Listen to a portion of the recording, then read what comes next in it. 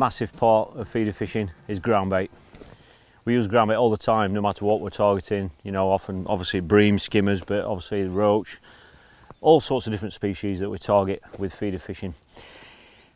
That obviously stems into choice of mix and that can it's almost an endless subject and everybody's all got their own favourites for different venues and all that sort of thing but maybe that's something for another time as regards mixing the ground bait that tends to be the same process for me I love to use a nice shallow round bowl.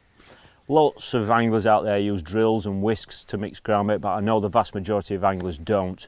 If you do use a drill and a whisk obviously the, the consistency can be a little bit better but obviously you've got the bulkiness of carrying a drill with you and all that sort of thing. And I know a lot of you are going on natural venues like I do you might have a long walk to your peg and I like to cut down my kit.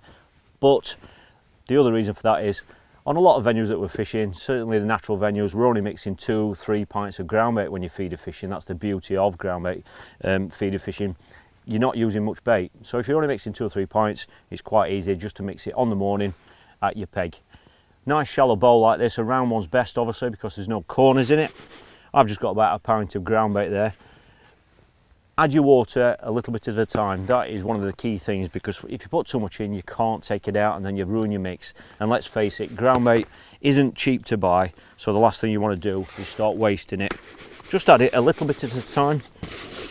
Mix it round just so that you're distributing that water around the mix the best you can and don't rush it that is one of the key aspects don't rush your ground bait when you get to your peg this is going to need a minimum of 20 minutes just to absorb the you know the maximum amount of water it can absorb so when you get to your peg the first thing you should do if you're using ground bait is mix your ground bait then because then it's going to give it plenty of time so that it's going to be right and finished for the start of the match. So just add a little bit at a time. I'm just going to add a little bit more. Just distribute the water around it the best you can.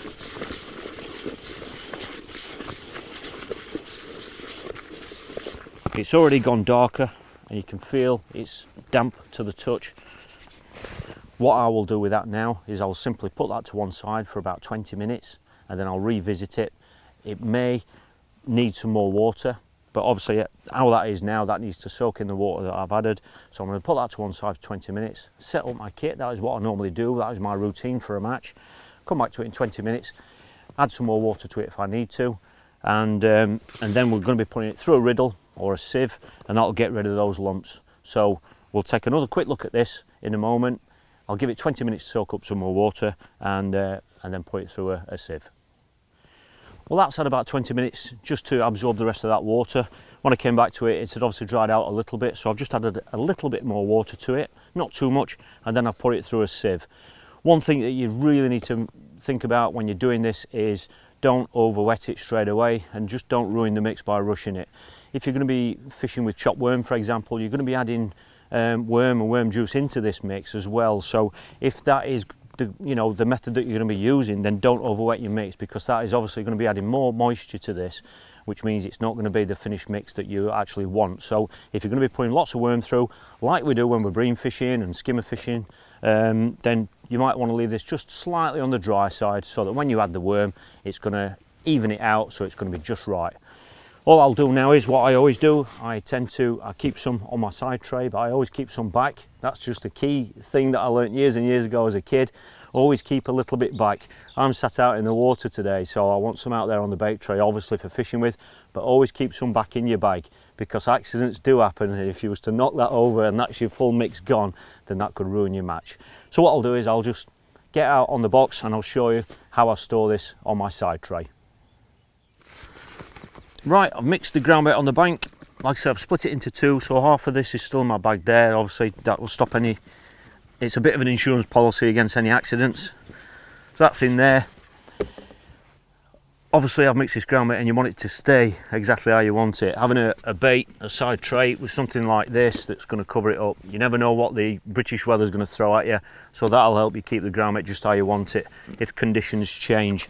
I like to have it right at the front of my bait tray that's just pure preference because it means I can take little bits of bait out of these other tubs into the ground bait and then fill my feeder um, fill it there the other key aspect that I always like to do is have a tub of water right next to it as well it's obviously handy to have water on your bait tray anyway. If you're using other baits, you might just want to wash your hands.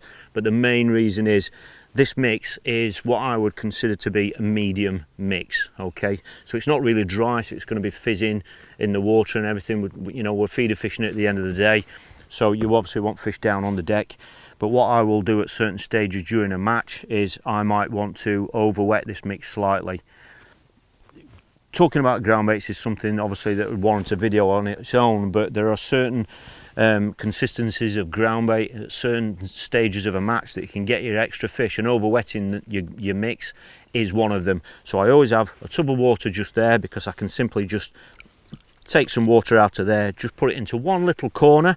I can partition part of the bait tray um, sorry the side tray ground bait there. I can partition that off just over wet that little portion of the corner so I'm not ruining the whole mix.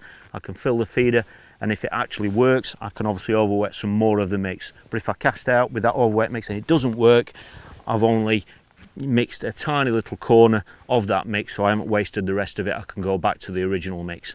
But it's just about keeping it where it's obviously nice and comfortable and easy to get to for refilling your feeder. Keeping it nice and dry keeping it exactly how it is.